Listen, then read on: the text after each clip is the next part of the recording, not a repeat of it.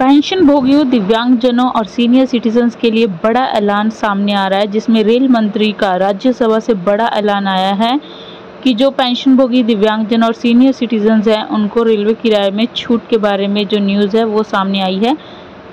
तो पूरी जानकारी के लिए वीडियो के साथ बने रहें। कोरोना के पहले वरिष्ठ नागरिकों सीनियर सिटीजन्स को रेलवे किराए में छूट दी जाती थी। कोरोना के समय इसको बंद कर दिया गया था। अब तक इसको फिर से बहाल नहीं किया गया है। इसी को लेकर राज्यसभा में सरकार से प्रश्न पूछा गया। तो क्या प्रश्न पूछा गया और सरकार की तरफ़ से इसका क्या उत्तर मिला? चलिए पूरी खबर को विस्तार से जान लेते हैं। लेकिन उससे पहले अगर आप हमारे इस चैनल को पहली बार देख रहे हैं तो चैनल को सब्सक्राइब ज़रूर करें। साथ में बेल आइकन की घंटी दबाएँ ताकि आपको आने वाली और ऐसी वीडियोस की जानकारी तुरंत मिल सके। वीडियो पसंद है तो वीडियो को लाइक और शेयर ज़रूर करें। श्री एस कल्याण सुंदरम ने सरकार से प्रश्न पूछा कि क्या रेल मंत्री यह बताने की कृपा करेंगे कि क्या सरकार रेलगाड़ियों में पेंशन भोगियों वरिष्ठ नागरिकों की यात्रा के लिए नए डिब्बी शुरू करने की योजना है ताकि उनकी यात्रा अधिक सुविधाजनक हो सके? यदि हाँ तो तत्संबंधी ब्यौरा क्या है? और यदि नहीं तो इसके क्या कारण हैं? इस पर रेल सूचना और प्रसारण मंत्री श्री अश्विनी वैष्णव ने कहा कि भारतीय रेल पहले से ही सभी मेल एक्सप्रेस गाड़ियों में वरिष्ठ नागरिकों और दिव्यांगजनों के लिए एक अलग कंपार्टमेंट की सुविधा देता है। इन डिब्बों में चौड़े प्रवेश द्वार, चौड़ी बर्थ चौड़े कंपार्टमेंट चौड़े दरवाजों के साथ बड़ा शौचालय व्हील चेयर पार्किंग क्षेत्र आदि होते हैं। शौचालयों के अंदर सहारे के लिए साइड की दीवारों पर अतिरिक्त रॉब रेल और उपयुक्त ऊंचाई पर वॉश बेसिन और दर्पण भी उपलब्ध होते हैं।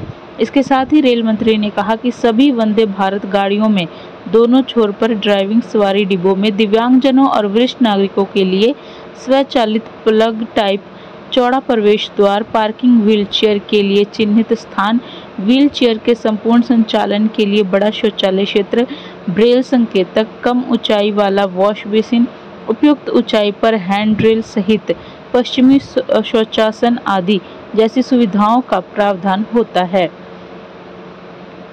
सीनियर सिटीजन्स को रेलवे किराए में रियायत की बात पर क्या बोलते हैं मंत्री? आइए जानते हैं। आगे श्री एस कल्याण सुंदरम ने सरकार से प्रश्न पूछा कि सरकार ने वरिष्ठ नागरिकों की रियायतों को वापस क्यों लिया? इसका क्या कारण है? वरिष्ठ नागरिक, रियायत कब से फिर से शुरू की जाएगी? इसकी संभावित तिथि क्या है? तत्संबंधी ब्यौरा क्या है? इस पर रेल मंत्री ने कहा कि वरिष्ठ नागरिक रियायत कोरोना के कारण बंद कर दिया गया था। अब इसको फिर से शुरू करने की कोई भी योजना सरकार के पास विचाराधीन नहीं है। इसके साथ उन्होंने कहा कि भारतीय रेलवे समाज के सभी वर्गों को किफ़ायती सेवाएँ प्रदान करने का प्रयास करता है और 2022-23 में यात्री टिकटों पर छप्पन करोड़ रुपए की सब्सिडी दी गई। यह रेल यात्रा करने वाले प्रत्येक व्यक्ति को औसतन 46 परसेंट यानी कि 46 परसेंट रियायत के बराबर है। यह सब्सिडी सभी यात्रियों के लिए जारी है। इसके अलावा रेल मंत्री ने कहा कि इस सब्सिडी राशि से पूरे अन्य रियायतें कहीं श्रेणियों जैसे विकलांग व्यक्तियों, दिव्यांगजनों की चार श्रेणियों, रोगियों की ग्यारह श्रेणियों और छात्रों की आठ श्रेणियों के लिए जारी है।